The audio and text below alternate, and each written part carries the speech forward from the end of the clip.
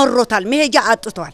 ነግዶ መብላትም አልቻለም። ሰርቶ መብላትም ስላልቻለ እኛም አከራይተን ለማብላት አልቻልንም። ዛሬ ከፈልኩ ነገ እንዴ ነገስ እንዴት ይሆናሉ? ይሄ ነገር ቋሚ ግብር ነው። ይሄ ጭንቅላትን የመታ ይሄ ነው።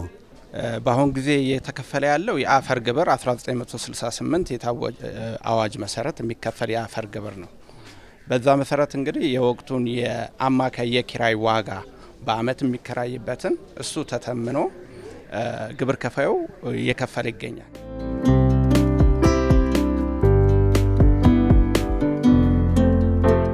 ምን ያህል መክፈል እንዳለብኝ ገና አላወቅኩም። ጎረቤቶቼ ክፈሉ የተባሉትን ሲነግሩኝ ደንግጬ ነው ስበር የመጣሁት። ባለቤቴ ጡረተኛ ነው፣ ኑሯችን ደግሞ ከእጅ ወደ አፍ። አሁን ደግሞ ይሄ ሲመጣ ይኸው ስጋት ላይ ወድቅ ያለሁ። እዚህማ የመጣሁ እኔም አልነበርኩ እናቴ ላስታመም ሄጄ ነበር። ባለቤቴ ስኳር በሽተኛ ነው፣ ከቤት አይወጣም። ስለዚህ የ2015 ሳልከፍል ትናንት ከትናንት ወዲህ መጥቼ ራስሽ ለክተሽ ነው የመሬቱ አሉኝ። እንግዲህ እሱም ትልቅ ሰው ነው፣ እኔም ትልቅ ሰው ነን።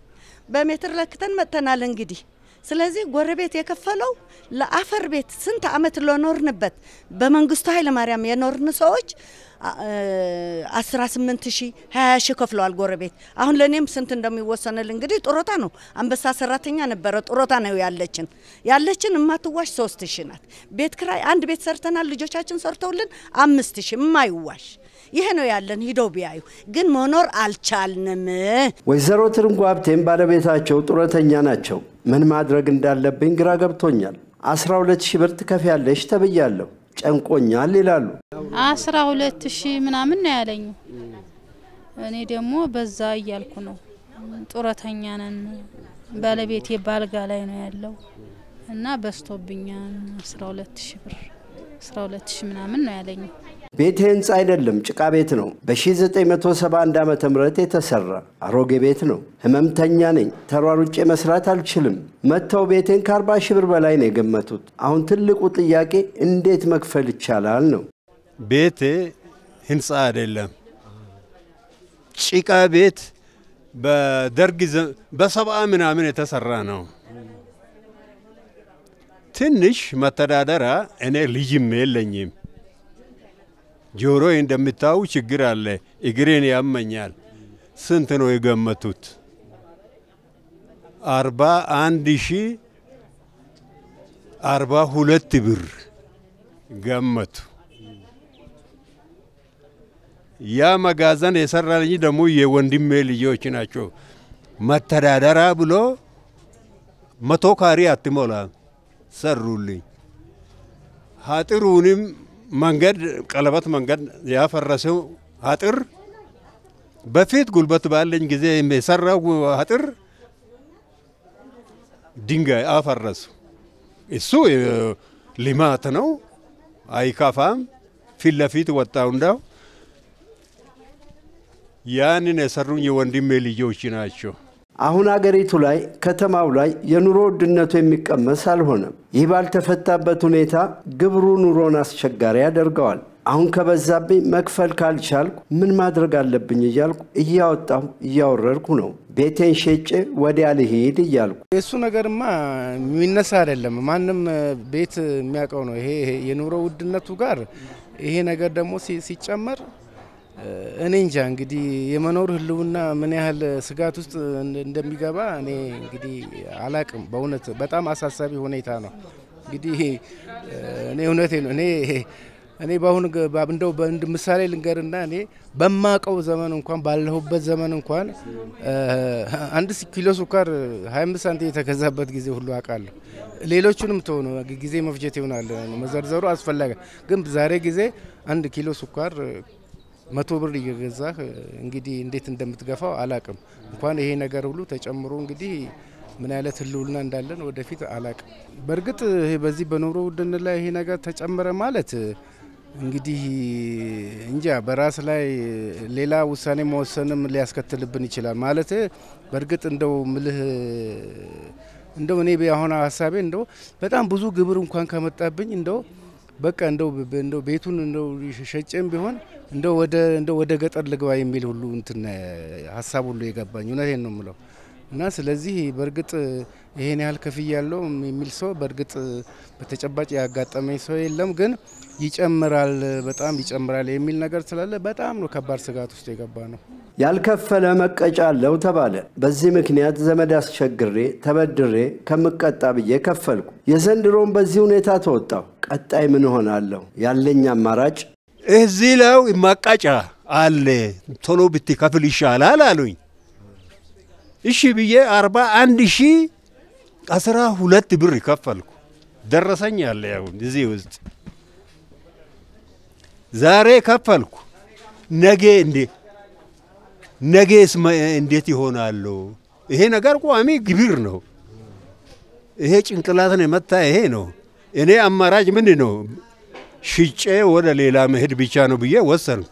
ግምቱ በጣም የተጋነነ ነው። ቢቀነስልኝ በሚል ያልረገጥኩት የባለሥልጣን ደጃፍ የለም። አንድም ተቀባይነት አላገኘሁም። ጨንቆኛል። አሁን እኔ ምንም የለኝም። ይሄም ግምት እንዴት ያደርጋለሁ ብዬ ያልሄድኩበት ቦታ የለም። እዚህ እንቁላል ፋብሪካ ነው ይላሉ፣ ክፍለ ከተማ ነው ይላሉ።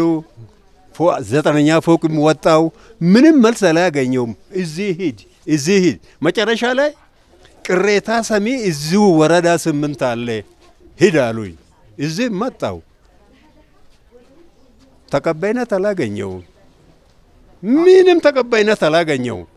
የሚመለከተው አካል መጥቶ ቤቴን ይልኝ መጥተው ካዩ በኋላ ይህን ያህል ያወጣል አያወጣም የሚለውን መወሰን ይችላሉ ሲሉ ይጠይቃሉ።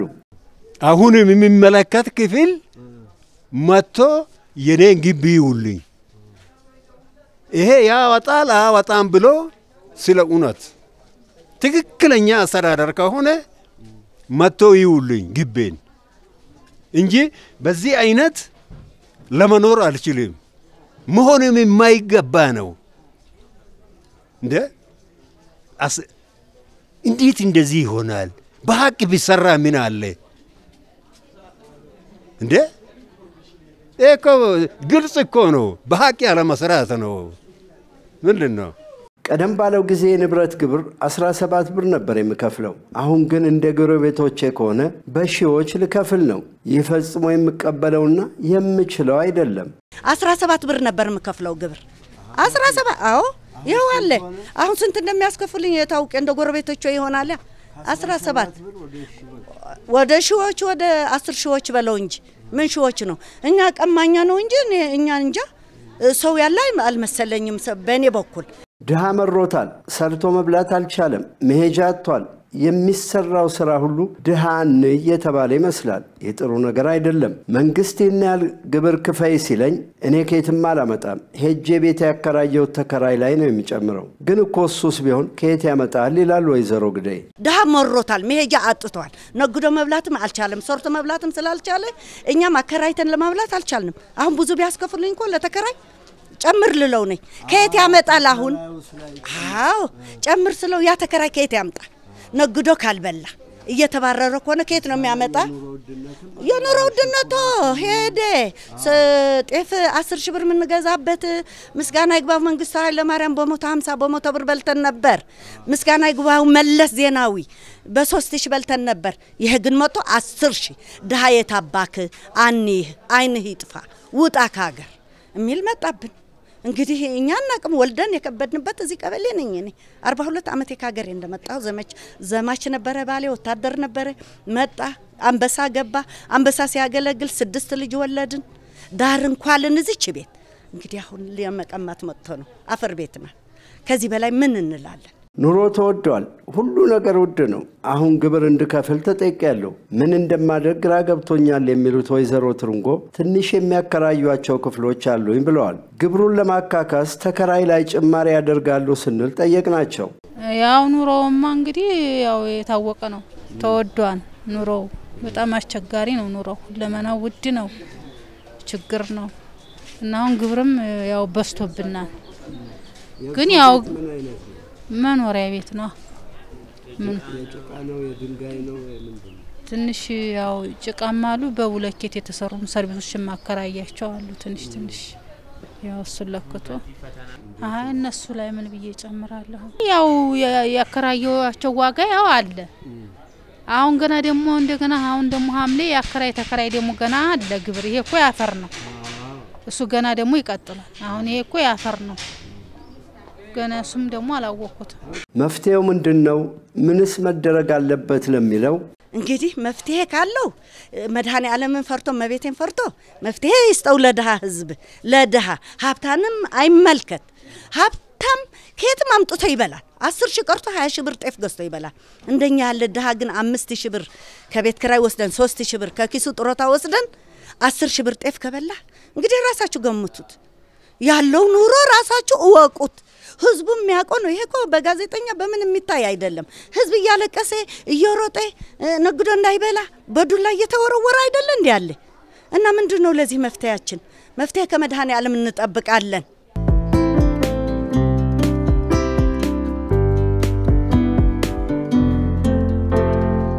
የአዲስ አበባ ከተማ አስተዳደር የፋይናንስ ቢሮ ሚያዝያ 3 ቀን 2015 ዓ ም ለመሬት ልማትና አስተዳደር ቢሮ፣ ለመሬት ይዞታ ምዝገባና መረጃ ኤጀንሲ፣ ለገቢዎች ቢሮ የቤት ግብር ማሻሻያ ተግባራዊ እንዲደረግ ስለማሳወቅ በሚል በጻፈው ደብዳቤ በከተማችን እያደገ የመጣውን የአገልግሎት ፍላጎትና የመሠረተ ልማት አቅርቦት ችግርን ከመፍታት አንጻር ገቢን አሟጦ መጠቀም ያስፈልጋል። ስለዚህ በከተማ አስተዳደሩ ወሳኝ ከሆኑ የገቢ አይነቶች አንዱ የቤት ግብር ወይም ንብረት ግብር ነው። ይሁን እንጂ በስራ ላይ ያለው የቦታ ክራይና የቤት ግብር ግመታ ወቅታዊ ባለመደረጉ ምክንያት ከዚህ ዘርፍ የሚሰበሰበው ገቢ እጅግ አነስተኛ እንደሆነ መረጃዎች ያመለክታሉ። ይህን ችግር ለመፍታት ጽሕፈት ቤት ተቋቁሞ የዳሰሳ ጥናት አድርጓል። በጥናት ውጤቱ መሰረት የመሬት ልማትና አስተዳደር ቢሮ፣ የመሬት ይዞታ ምዝገባና መረጃ ኤጀንሲ የንብረት ግብር ግምት ለገቢዎች ቢሮ እንዲያሳውቅ፣ የገቢዎች ቢሮን በሚላክለት የግብር ግምት መሰረት የቤት ግብሩ እንዲያሰባስብ እናስታውቃለን ይላል።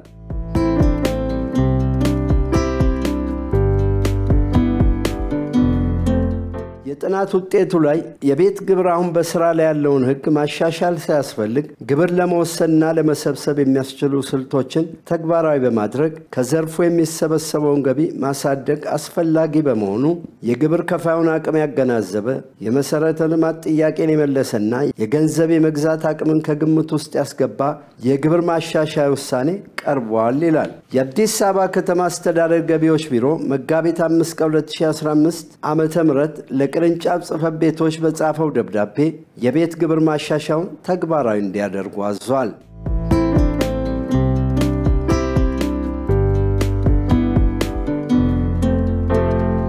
በጉለሌ ክፍለ ከተማ የወረዳ ስምንት ገቢዎች ጽሕፈት ቤት ኃላፊ የሆኑት አቶ ዮናስ ነጋሽ አሁን እየተከፈለ ያለው ግብር በ1968 ዓ ም የወጣውን አዋጅ ተከትሎ ነው። ይህም የወቅቱን የቤት ኪራይ አማካይ ዋጋ መሰረት በማድረግ የተሰላ ነው። ግብር ከፋዩም እየመጣ እየከፈለ ነው። መስተንግዶም ፈጣንና ቀልጣፋ ነው። ወረፋ የለም። በአሁን ጊዜ እየተከፈለ ያለው የአፈር ግብር 1968 የታወጀ አዋጅ መሰረት የሚከፈል የአፈር ግብር ነው። በዛ መሰረት እንግዲህ የወቅቱን የአማካይ የኪራይ ዋጋ በአመት የሚከራይበትን እሱ ተተምኖ ግብር ከፋዩ እየከፈለ ይገኛል። ከመስተንግዶ ጋር በተያያዘ ያለው ነገር ምንድን ነው? አብዛኛው ሰው መጥቶ ግብሩን እያወቀ እየከፈለ ነው እየሄደ ያለው። ሲከፍል ግን ምንም እንዳያችሁት ምንም አይነት መጨናነቅ የለም። በቴሌ ብርና በሲቢ ብር እየከፈሉ ስለሆነ እኛ ጋም መጥተው ደረሰኝ የማይወስዱበት ሁኔታ ስለሌለው ሰው አውቆ ከፍሎ የሚሄድበት ነገር ነው ያለው። ስለዚህ እኛ ጋር የሚቆይበት ነገር ምንም ነገር እንደሌለ ነው እኔ የማውቀው። ቀደም ሲል ይከፈል የነበረው በአስራዎቹ ቤት ነበር። አሁን ግን ጨምሯል። ይህንን ጭማሪ ከተለያየ አቅጣጫ ማየት ይገባል። በፊት በመቶ ብሮች ወይም በ10 15 ብር የሚከፈል ገንዘብ አሁን የሚከፈለው ክፍያ ትንሽ ከፍ ይላል። ስለዚህ ሰው ደስተኛ ነው ወይ ብትለኝ ብዙ ደስተኛ ነው ብዬ ልልህ አልችልም። ግን ከኛ የሚጠበቀው ነገር ምንድን ነው? አንደኛ እንደሚታወቀው የኢኮኖሚ አሁን የሚያመነጨውን ገንዘብ እየተሰበሰበ አይደለም ከተማ አስተዳደሩ። ስለዚህ ከኪራይ ዋጋም ጋር ሲታይ የኢንፍሌሽኑም ሬቱ ራሱ በጣም ከባድ ስለሆነ ከዛ ጋር ሰውን አሳምነን ለማስከፈል የራሳችንን ጥረት እያደረግን ነው በእኛ በኩል። የበርካቶች መወያና መነጋገሪያ ሆኖ የሰነበተው የንብረት ግብር ጉዳይ በተመለከተ በማኅበራዊ ድረገጽ አስተያየታቸውን ካጋሩት መካከል የምጣኔ ሀብት ባለሙያው አቶ ሙሼ ሰሙ አንዱ ናቸው። አቶ ሙሼ ካነሷቸው ነጥቦች መካከል ቤት ማለት ለኢትዮጵያውያን ቅንጦት ማለት አይደለም። ከሚበላው፣ ከሚጠጣው፣ ከሚለብሰውና ከልጆቹ ፍላጎት ቀንሶ የትዳር ቀለበቱን ሸጦ የሚገነባው የገመና ከታች ነው ቤቱ። ከቤት ክራይ ዋጋ ጭማሪና ግባ ውጣ ከመባል እርፍ የሚልበት ስለሆነ ገመናዬን ከትቼ ቆሎ ብበላም ችግር የለም በማለት ጥሪቱን አሟጦ የሚገነባው ትውልድ ተሻጋሪ ሀብት ነው ይሉና የወቅቱን የኑሮ ሁኔታ አገናዝቦ በጥናት ላይ ተመስርቶ ካልሆነ በስተቀር የንብረት ታክስ መጣል ከሚያስከትላቸው መዘዞች ዝቅተኛና መካከለኛ ገቢ ያላቸው የቤት ባለቤቶች እጅግ አስፈላጊ የሆነችውን ቀሪ ገቢ በማሟጠጥ በኑሯቸው ላይ ከፍተኛ ጫና ያሳድራል። ቤት ለመገንባት የሚውለውን ወይም ተበድሮ ቤት ለመገንባት የሚያስፈልገውን ጥሪት ስለሚያሟጠጥ ቤት መገንባትም ሆነ መግዛትን ህልም ያደርገዋል። ግብር ከፋይ የከፈለውን ታክስ ወደ ተከራዩ ስለሚያዞር የኪራይ ዋጋ ያንራል። ከኪራይ ዋጋ መናር ጋር ተያይዞ የዕቃ ዋጋ ይንራል። ግሽበት ይባባሳል፣ ኑሮ ይወደዳል እያለ ይቀጥላል።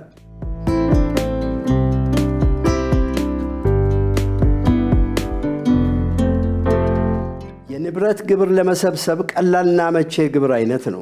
ለመንግስት እጅግ ጠቃሚ ግብር ነው። ነገር ግን ይህንን ግብር መቼ ነው የምጥለው የሚለውን በአግባቡ ማጤን ይገባል። ጊዜ ሊመረጥለትም ይገባል። በዋናነት ግን ኢትዮጵያ ውስጥ ከመሬት ጋር ተያይዞ የሚነሱ ጉዳዮች ግልጽና ጥርት ማለት አለባቸው ይላሉ ሌላው የምጣኔ ሀብት ምሁሩ ዶክተር አለማየሁ አረዳ። ጥናቱ የመጣው አዋጁ ከወጣ በኋላ ነው ተጠና የተባለው። ማንም ማንም ለምሳሌ property tax በጣም stable tax ነው። ነጋዴ እያባረርክ ገንዘብ ከመለቃቀም ራሱን ችሎ የተቀመጠ property tax ለማድረግ በጣም ቀላል ነው። በተለይ በዙሪያው infrastructure ኡን እያሻሻልክ የውሃውን የመብራቱን እያሻሻልክ ስትሄድ የ property ው እንትን appreciate እያደረገ ይሄዳል። appreciate ስለሚያደርግ property tax ማድረግ የብዙ ሀገሮች property tax እስከ 75 percent ድረስ የሚሸፍኑበት ቦታ አለ። የወጪያቸውን ይሄ በጣም ጠቃሚ ነው። ግን መቼ፣ እንዴት? እነዚህ ነገሮች ነበሩት መታየት አለበት። property tax ዛሬ start፣ በሌላ በኩል ደግሞ ህገወጥ ቢሆኑም ቤቶች እያፈረስክ ነው። እነዛ ቤታቸው የፈረሰባቸው ሰዎች ትንሽ ገንዘብ ተከራይቶ ለመኖር ይፈልጋሉ። የት ነው የሚገቡት? ይታያል። በጣም intensify ያደርገዋል ነገሩን። ለምንድን ነው ትንሽ ትዕግስት ያስፈለገው? እኔ እንደውም በእውነት የሚሰማ ካለ ከሀያ ሀያ በፊት የ property tax ባይጀመር ጥሩ ነው። ለምን መሰለ?